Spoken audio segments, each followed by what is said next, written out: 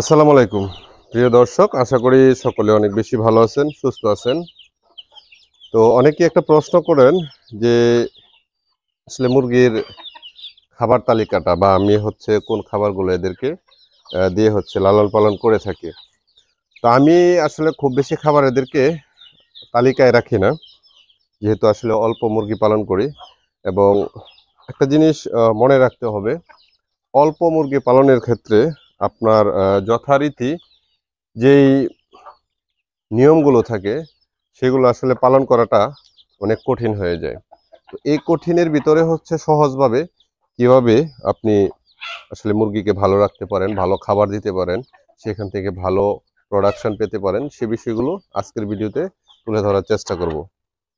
এবং আশা করি ভিডিওটি অবশ্যই শেয়ার করে রাখবেন টাইমলাইনে এবং পরবর্তী সময় এখান থেকে আসলে কিছু শেখার বা জানার চেষ্টা করতে পারেন। তো আমার হাতে চাউলের খুদ এবং সোনালি স্টার্টার ফিট রয়েছে। তো এই খাবারটা আমি হচ্ছে আমার ছোট, বড় এবং ডিম পাড়া মাঝারি সকল মুরগিকে হচ্ছে দিয়ে থাকি। তো অনেকে আসলে প্রশ্ন করতে পারেন যে স্টার্টার যে খাবারটা, সেটা আপনার বড় মুরগির জন্য তো সেটা আমি কেন দিচ্ছি? এই খাবারটা তো ছোট মুরগিকে দেওয়া হয়। তো আমি হচ্ছে আমার এখানে যে মুরগিগুলো থাকে, একদম সকল মুরগিকে এই সোনালি স্টার্টার খাবারটা দিচ্ছি। এটা হচ্ছে দুইটা কারণ। খরচ কমানোর একটা বিষয়, আরেকটা হচ্ছে মুরগির প্রোটিনের একটা বিষয়। তো আমার এখানে যে প্যারেন্ট স্টক মুরগিগুলো রয়েছে, দেখা যায় ডিম পাড়া মুরগিগুলো রয়েছে তো এই ডিম পাড়া মুরগির ডিমের প্রোডাকশন ধরে রাখতে হয় এবং প্রোটিনের প্রয়োজন। খাবার খরচ কমানোর একটা বিষয় রয়েছে, সেটার একটা জটিলতা থাকে।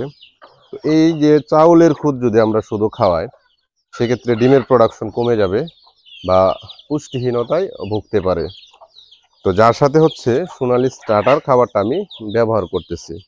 এবং দীর্ঘ আট মাস এই খাবারটাই হচ্ছে শূন্য থেকে ডিম পাড়া পর্যন্ত আমার সকল মুরগিকে আমি খাওয়াই। এটার কারণ হচ্ছে লেয়ার লেয়ার ওয়ান যে ফিডটা রয়েছে, সেই ফিডটা অনেক সময় দেখা যায় আপনার অল্প করে পাওয়া যায় না এবং অল্প মুরগির জন্য সেই খাবার প্যাকেজগুলো মেনটেন করে খাওয়ানো যায় না। আমি আমার অভিজ্ঞতা থেকে এটা আসলে তৈরি করেছি। অনেকেই প্রশ্ন করতে পারেন যে আসলে এই খাবার তালিকায় ডিমের প্রোডাকশন কীরকম থাকে? তো আমি যদি আপনাদেরকে দেখাই এক, দুই, তিন, চার। মানে পাঁচটা মুরগি কিন্তু বর্তমানে আপনার বাচ্চা ছাড়া আছে। বাকিগুলো কিন্তু বাচ্চা সহ এবং কুচে আছে। তো আমরা পাঁচটার হিসেব যদি ধরি, পাঁচটা থেকে আমরা এই খাবার প্রয়োগের ফলে ডিম পাচ্ছি তিনটা মানে প্রতিদিন। মানে এখানে আমরা যদি হিসেব করি, তো ফিফটি পার্সেন্টের উপরে। এখানে ডিমের প্রোডাকশনটা আমার যতটুকু প্রয়োজন ছিল, সেটা আমরা পাচ্ছি, নিঃসন্দেহে বলা যায়।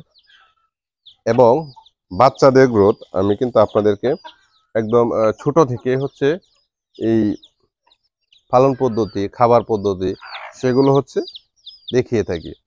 তো এখানে তাদের মাংসের যে গ্রোথটা থাকে, সেটা আলহামদুলিল্লাহ আপনার সামনে যে মুরগিগুলো দেখতেছেন, সেগুলো দেখলেই কিন্তু বোঝা যায়। তো যারা অল্প পরিসরে আসলে মুরগি পালন করেন, তো এই পদ্ধতিটা যদি আপনারা সহজভাবে অবলম্বন করতে পারেন, তাহলে আশা করি মোটামুটি ভালো হবে এবং ঝামেলা কম। যেহেতু আসলে এখানে দেখেন বড় মুরগি রয়েছে, বাচ্চা কিছু ছোট রয়েছে, কিছু মাঝারি সাইজ রয়েছে, কিছু বড় রয়েছে। তো এই যে অগোছালো টাইপের একটা আসলে বাচ্চা উৎপাদন হচ্ছে, তো তাদেরকে আসলে খাবার, পানি ওষুধ সব কিছু মেনটেন করতে হয়। তো এই মেনটেনের ক্ষেত্রে আপনার সব সময় সঠিকটা ধরে রাখতে পারবেন না, এটা আমি বলতে পারি। বা এটা কারও ক্ষেত্রে আসলে সম্ভব না, এবং দীর্ঘ সময় তো আরও সম্ভব না। যার কারণে হচ্ছে একটা খাবার তালিকায় হচ্ছে তাদেরকে নিয়ে আসছি। এই একটা খাবার তালিকা দিয়ে মোটামুটি সকল মুরগি পালন করেছি। আলহামদুলিল্লাহ ভালো বলা ফল পাচ্ছি। যার কারণে হচ্ছে আপনাদেরকে দেখানোর চেষ্টা করতেছি এবং আপনাদেরকে তথ্য দেওয়ার চেষ্টা করতেছি। তো আশা করি এই বিষয়গুলো আপনাদের কাজে আসবে এবং কাজে আসার জন্য ভিডিওটি আপনাদের উদ্দেশ্যে তৈরি করা। তো আমরা আজকের এই ভিডিও থেকে বিদায় নিচ্ছি। ভালো থাকুন, সুস্থ থাকুন। আসসালামু আলাইকুম।